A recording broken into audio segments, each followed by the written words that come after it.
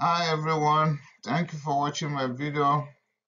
Today we'll be talking about AFib again and this time around is about the treatment. Here is a scenario where a man walks to the doctor and tells him that this side is accelerating too fast. I need to apply brake. How can we help him to stop it? The first thing to determine is whether or not this patient is stable or unstable. How do we know that this patient is unstable? Is he confused? Is he having chest pain? Is he having discomfort at the chest region? Feeling pressure there? The vital signs already taken? Any hypertension? Is he feeling dizzy or lethargy? Then are there features of heart failure like hypopnea, dyspnea, shortness of breath, paroxysmal nocturnal dyspnea, edema? Once we're able to determine that, then the next thing is cardioversion immediately. But if this patient is stable and the onset is just within one to two days or 24 to 48 hours. And the Anticoagulation is not necessary before you cardiovert. Do all your investigations and give maintenance therapy if the patient is stable and is within 48 hours.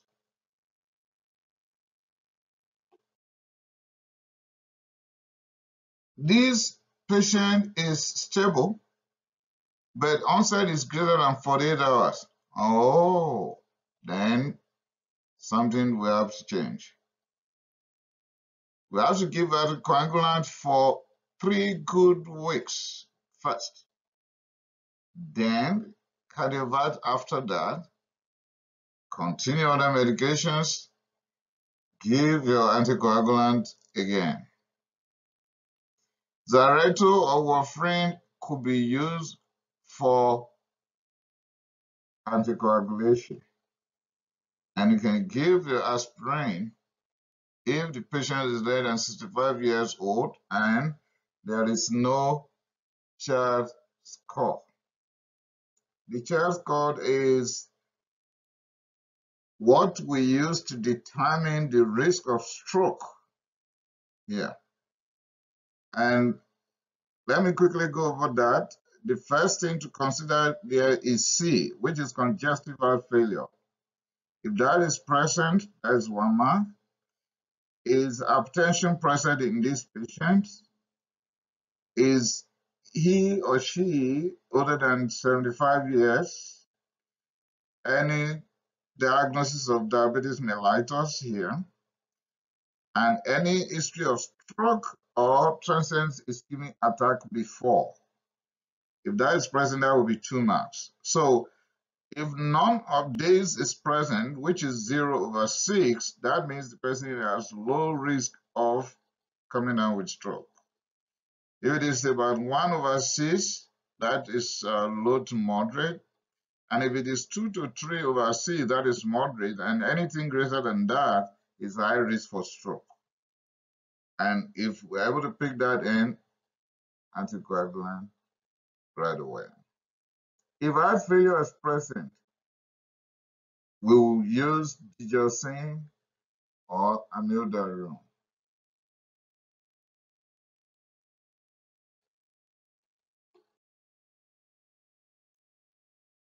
You can use beta blockers or you use one of the calcium channel blockers called non-dihydropyridine calcium channel blocker. An example here is diltiazem. If you're not winning with beta blockers or calcium channel blockers, you can add a low dose of digoxin. However, digoxin and potassium compete for binding site. So watch out for the level of electrolyte and specifically potassium because if for any reason there is competition between the two of them, there can be toxicity of digoxin. Cardioversion is necessary even if stable and even if less than 48 hours. If there is structural heart defect, like valvular heart disease or cardiomyopathy, you cardiovert. In any permanent atrial fibrillation, but less symptomatic, use beta blockers and anticoagulant.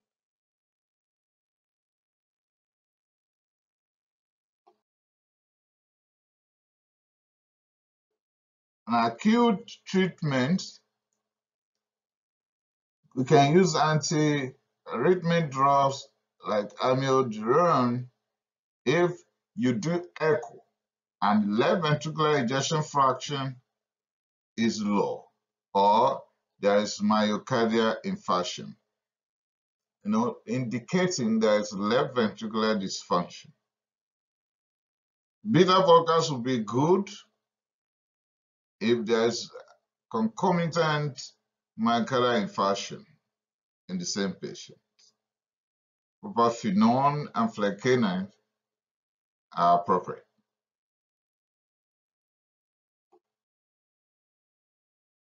What are the investigations to be done here? EKG. As a matter of fact, how are you going to be sure this is a fib, is not a flutter without EKG? So EKG, thyroid stimulating hormone to know if we are dealing with hypothyroidism here. Echo, transthoracic and transesophageal. See the wall motion and the valves. And determine if thrombus formation is already ongoing and be able to predict the possibility of stroke in these patients very soon or remote. Chest x-ray, what is going on?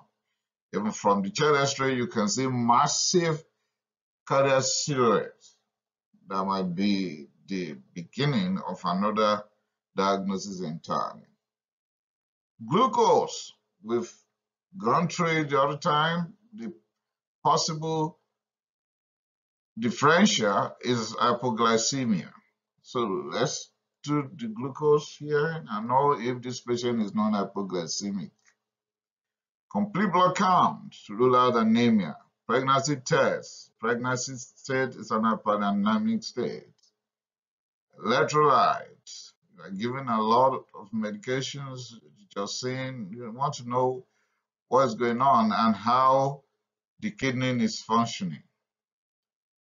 Toxicology screening, straight drops can mimic atrial fibrillation, can trigger it, can worsen it vanillylmandelic acid to rule out pheochromocytoma, lipid profile, and of course liver function, because the main metabolism of all the medications you are taking.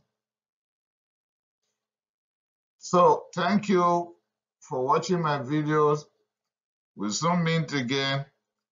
Please remember to subscribe to my channel so that you can be getting these videos immediately they are uploaded. Thank you. I appreciate it.